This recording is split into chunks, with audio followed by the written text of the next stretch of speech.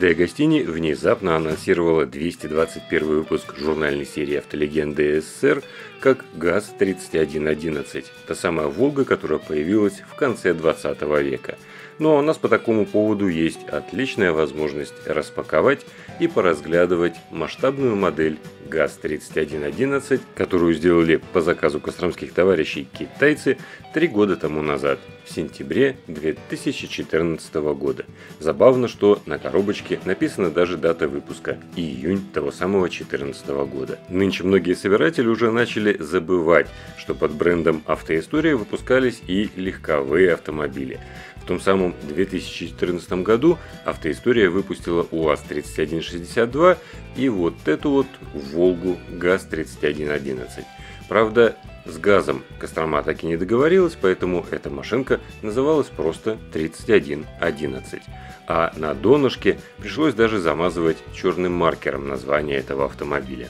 Эти простецкие модели продавали тогда за 650 рублей, а вышла «Волга» сразу в четырех цветах – в сером, белом, красном и черном. С оттенком красного цвета костромские китайцы не угадали, на черном терялись характерные обводы кузова этого автомобиля, серый выглядел очень блекло, поэтому оставался белый, хотя тоже не лучший выбор.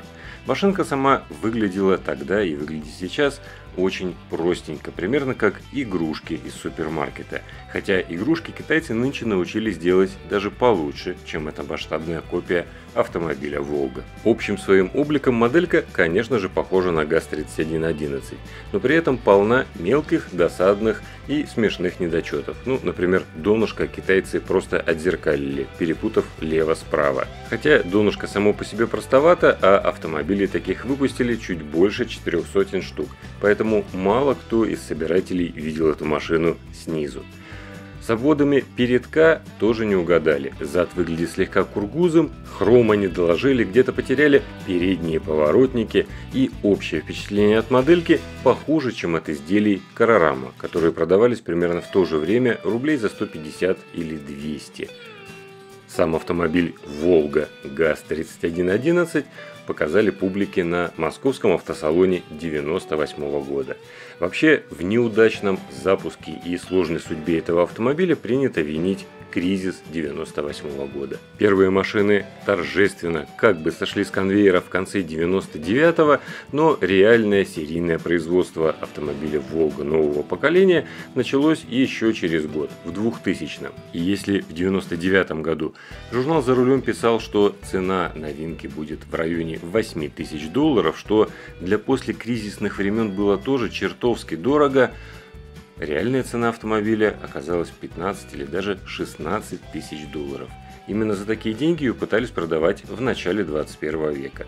Таможенные пошлины тогда еще были не такие чудовищные, как в новейшие времена, и за 15-16 тысяч долларов можно было купить вполне себе приличный Mercedes, BMW, Volvo, не говоря уж о совершенно свежих каких-нибудь Ниссанах, Опелях и прочих иномарках, свежепригнанных из Германии. Так что совсем не удивительно, что общее количество выпущенных автомобилей Волга ГАЗ-3111 оказалось меньше 500 штук. Но масштабная модель этой Волги, выпущенная костромскими китайцами, несмотря на все свои недостатки, остается на сегодняшний день лучшей масштабной копией этого автомобиля. Ну и, конечно, чертовски интересно узнать, что же вложит в пакетик с журнальчиком Де Агастини через две недели – эту костромскую «Волгу», перекрашенную в красный цвет, или совершенно новое изделие на новых формах. Увидим через две недели. Спасибо, что досмотрели до конца и на этот раз.